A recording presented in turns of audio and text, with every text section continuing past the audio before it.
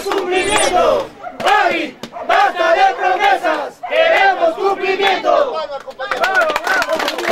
Un conflicto social está a punto de estallar en las alturas de Santiago de Chuco, en el distrito de Quirubilca. Trabajadores de la minera Barrick Misquichilca denuncian la falta de seriedad en compromisos asumidos con anterioridad por parte de la referida compañía minera, lo que estaría conllevando a medidas de lucha extrema.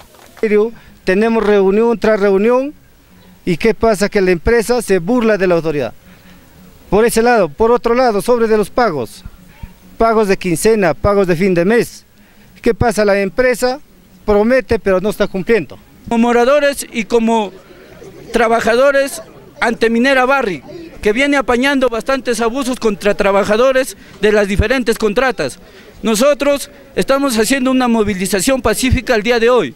Si no dan solución, nosotros estaremos tomando otras medidas más radicales. Según consta en ese documento, los acuerdos tomados que a la fecha no se cumplen se basan en la falta de oportunidades laborales a personal obrero, así como mano de obra calificada de su jurisdicción, aumento por el bono de cena de 12 soles diarios, sin que sea descontado de los pagos, igualdad de beneficios laborales de todos los trabajadores, regularizar el monto de las utilidades de todas las contratas, así como la reposición de trabajadores despedidos supuestamente de manera arbitraria. De nuestros paisanos hasta el día de hoy estamos atrás de un cupo de trabajo en nuestro propio distrito.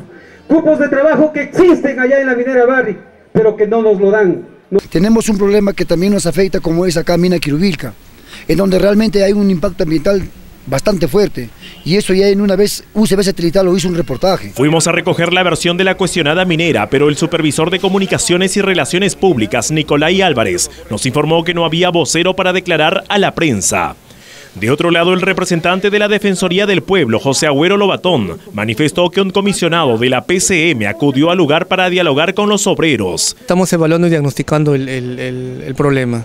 Eh, ahora, la Barrin también tiene su, propia área de, atención y de, de a lo que es público, entonces vamos a verificar con ellos, vamos a hablar con el representante de la PCM y de acuerdo vamos a tomar una decisión para ampliar más este, el diálogo con las personas de allá. El domingo nuevamente la población se reunirá para determinar qué acciones concretas realizarán dentro de su plataforma de lucha.